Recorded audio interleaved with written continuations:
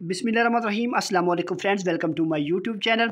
Friends, Punjab police safe city authority में बड़ी भर्ती की अनाउंसमेंट कर दी गई है, जिसमें आप पूरे पंजाब से मर्द और ख़वान दोनों ऑनलाइन अप्लाई कर सकते हैं।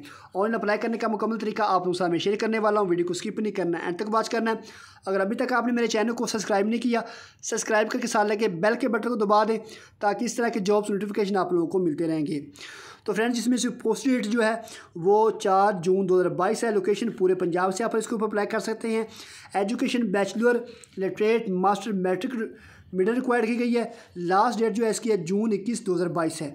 इसके अलावा जो इसकी वैकेंसीज़ हैं, वो assistant executive officer, chowkidar, deputy executive officer, dispatch rider, driver executive officer, junior executive officer, office attendant नैब कासिद, पुलिस कम्युनिकेशन ऑफिसर और स्वीपर्स।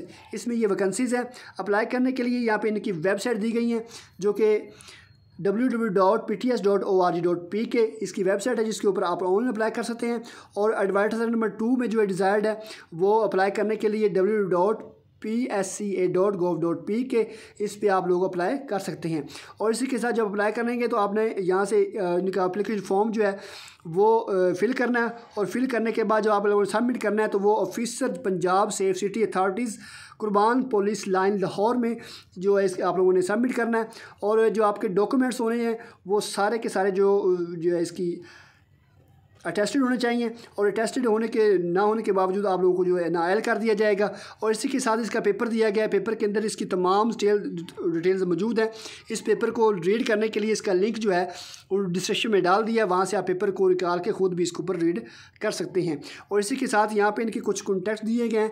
अदर इन्फॉर्मेशन के लिए आप इस नंबर पर कॉन्टैक्ट करके इसकी इन्फॉर्मेशन भी हासिल कर सकते हैं और इसके साथ इसका एड्रेस भी दिया गया है। इस एड्रेस पर आप लोग जाके भी इसके बारे में इन्फॉर्मेशन हासिल कर सकते हैं। तो फ्रेंड्स ये थी हमारी आज की वीडियो, अगर वीडियो अच्छी लगी हो तो मेरे चैनल को लाइक और शेयर ज़रूर कर दीजिएगा। इसी के साथ मुझे इजाज़त, अल्लाह हाफिज़।